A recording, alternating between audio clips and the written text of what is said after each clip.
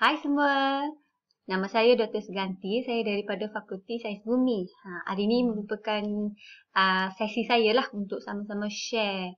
Uh, hari ini saya nak share tentang satu uh, tool ataupun app yang biasa saya gunalah. Uh, saya sebenarnya diperkenalkan uh, kepada tool ni pada tahun 2015 masa saya ikut uh, PNP session lah. Jadi nama tool ni pun uh, sangat menarik. Uh, Jing Tool. Kalau pergi ke Google, uh, dia akan senang saja sebenarnya. Kita tekan saja nama Jing Tool tu, dia terus akan keluar uh, dia punya website lah. Uh, jadi begitu senang sebenarnya. Tak percaya? Jom saya tunjuk. Ha, tu dah keluar. Jadi tekan saja. Lepas tu, uh, Jing tu ni sebenarnya dia sangat user friendly. Uh, dia adalah free download, tak payah bayar-bayar apa-apa. Dan dia sebenarnya sangat compatible untuk Windows dan juga Mac. And dia juga sediakan step by step tutorial. Tapi saya rasa tak perlulah nak pergi tengok tutorial sebenarnya sebab dia sangat user friendly. Just download, install, lepas tu be ready to explore gitu sahaja. So bila kita dah uh, install tu, Tuan-tuan dan perempuan boleh tengok dekat bawah ni, bila dah install tu, salah satu cara untuk tahu dia dah install berjaya atau tidak, dia akan keluar benda ni. Dia macam matahari dekat bawah kita punya bar ni. Ha, jadi dia macam sentiasa ada lah. Tapi kalau tak suka dia macam mengganggu tu, sebenarnya kita boleh pergi ke setting dia dan kita boleh uh, apa tu unclick dia punya launch tu. Ha, jadi dia macam easy lah kalau kita nak explore-explore kan. Jadi dia ada tiga function utama untuk uh, Jing tu ni. Nah, salah satunya adalah capture. Lepas tu satu lagi history dan lepas tu lagi satu adalah more. So dekat more sini lah sebenarnya. Dia ada dia punya preferences. Uh, lepas tu dia ada feedback. Uh, kalau tak dapat nak, apa ni tak faham ke ataupun memerlukan help uh, online. Uh, bolehlah. Okay, lepas tu exit pun boleh. Alright, so uh, inilah salah satu dia punya kelebihan. Lagi satu kelebihan dia, tak payah pergi internet every time kita nak gunakan Jing ni tak payah nak apa ni uh, log in internet untuk gunakan. Just dia ada di sini kan. Jadi bila kita nak guna tu just klik saja capture. Lepas tu dia akan start capture. Ha so this is actually one of the apa ni kelebihan dia. Kenapa saya suka tool ni? Sebab saya selalu macam uh, sharing uh, masa MCO ni kan. Saya sharing-sharing dengan kawan-kawan pesyarah. Lepas tu dia ada bagi tahu. Uh, kalau nak buat e-learning tu ada macam-macam tool. Tapi kalau nak buat e-learning untuk lab. Uh, especially lab yang lab untuk macam yang menggunakan komputer. Di mana kita mengajar uh, student nak gunakan tools online tools ni. Macam uh, subjek saya, bioinformatik. Dia ada macam-macam tool dekat online ni. Lepas tu kita kena ajar student sebenarnya nak tekan mana satu daripada A ke B ke C menggunakan komputer. Kalau uh, face to face senang lah kan. Kita boleh pergi ke student demi student. Lepas kita, okay tekan ni, tekan ni, tekan ni. Okay, ni cara analyze kita punya DNA, RNA. Tapi kalau duduk dekat rumah, kita nak mengajar secara virtual, how to do this? Ah, So salah satu cara adalah menggunakan uh, tool recording lah kan. Uh, tapi selalunya recording tool yang lain tu ada yang sangat berat. Uh, so bila kita nak upload dekat e-learning tu macam susah, dia berat. Uh, kan. So tapi yang ni dia macam lebih mudah. Uh, lepas tu kita nak sharing pun dalam WhatsApp pun senang. So kalau ada student ada group tu kita just share saja kita punya uh, apa ni video yang kita dah record untuk mereka punya lab session tu ah senang lah sikit. Satu tu je dia punya kelemahan untuk tool ni. Dia punya maximum recording time adalah 5 minit. Um, so dia adalah kekurangan dia ya. Uh, sebab tu dia saya kata dia macam uh, kecil dia punya video yang dia buat tu dia kecil, saiz kecil sebab dia hanya merekod maksimum 5 minit saja. Tapi selain daripada tu dia tak adalah kekurangan yang ketara sangat. Okay. So selain tu saya rasa sangat mudah lah untuk kita guna. Ha, nak guna-guna ni ha, macam mana kita nak guna? Okay, come kita tengok. Okay, kita explore satu-satu ya. So, first thing first, saya buka saya punya manual. Yang ni adalah manual yang saya prepare untuk student saya. Jadi, saya dah buka manual ni. So, uh, manual ni sebenarnya uh, untuk subjek saya lah, bioinformatics. Uh, so, student bila berada dekat kelas uh, ataupun lab uh, session, dia sepatutnya baca. Lepas tu, ada saya akan explain. Lepas tu, uh, dia ada dia punya hands-on Ha, di mana student kena try satu demi satu. Uh, dan saya akan ada di situ untuk membantu mereka dan uh, explain pada mereka setiap satu function yang ada.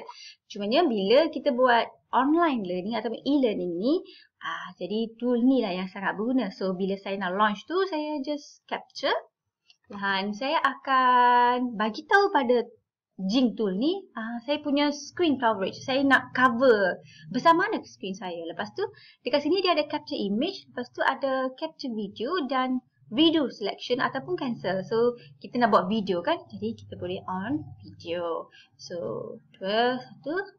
Ha, kita sekarang dah online. Maksudnya, saya dah start recording saya punya screen lah. Jadi, saya boleh start explaining lah one by one dengan menggunakan screen recording ini. Alright. Uh, so bila dah siap tu just click uh, finish. Lepas tu dia akan save dekat dia punya folder lah. So kalau dekat sini saya rasa dia sudah save. Ah dia tengah saving lagi. Dia akan keluar macam ni. So ini adalah dia punya uh, apa ni? Dalam box dia. So kita boleh tekan saja apa yang kita nak tekan. Uh, so saya dah letak lab 1A. Ya, okay, just for my reference. Then saya boleh save. So, bila dekat sini dia ada tengok ada share, ada save dan cancel. So, saya save lah. Okay. So, bila save tu, uh, saya save dekat um, apa ni? Um, desktop dan dia akan keluar dalam uh, file SWF. So jangan takut apa tu SWF. Senang saja sebenarnya. Kalau ada VLC player ataupun uh, media player, sebenarnya dia boleh guna untuk buka juga SWF file ni. So it's that easy. Tak payah risau. So bila dia dah save, dia dah capture dia punya screen tu, dia akan bagi tahu, dia akan keluar screenshot yang macam ni. So just close. That's it. Ah, so begitu mudah kan? Ah, so benda ni sebenarnya bukan sahaja berguna untuk uh, apa ni? Mengajar lab sebenarnya katakanlah ada subjek macam subjek matematik ataupun statistik yang nak ajar student nak macam mana gunakan SPSS katakan. Ha, so yang tu pun boleh sebenarnya. Just buka saja Jing tu lepas tu uh, start SPSS punya uh, software. Lepas tu kita boleh just masukkan sambil masukkan data kita boleh bercakap dan dia akan record dan kita boleh share dengan student. Macam mana kita nak menggunakan tool SPSS pula. Uh, katakan kita ada uh, nak explain untuk genetics uh, class especially kan uh, macam mana kita, dia punya transcription, dia punya translation process. Uh, yang tu pun boleh juga.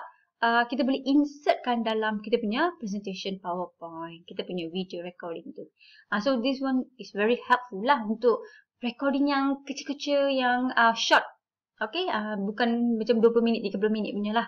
Uh, dalam masa 5 minit ataupun kurang. So this one is very helpful apa lagi yang kita boleh gunakan um, Jing tool ni? Sebenarnya dia macam print screen juga tau. Cumanya bila print screen kita gunakan function print screen yang sedia ada, kita kena uh, tekan print screen, lepas tu kita kena pergi ke paint, lepas tu kita kena copy dekat sana, lepas tu kita kena save baru kita boleh share. Betul tak? Dia punya uh, image tu. Tapi kalau kita gunakan Jing tool ni, dia sebenarnya tak payah melalui banyak-banyak steps tersebut.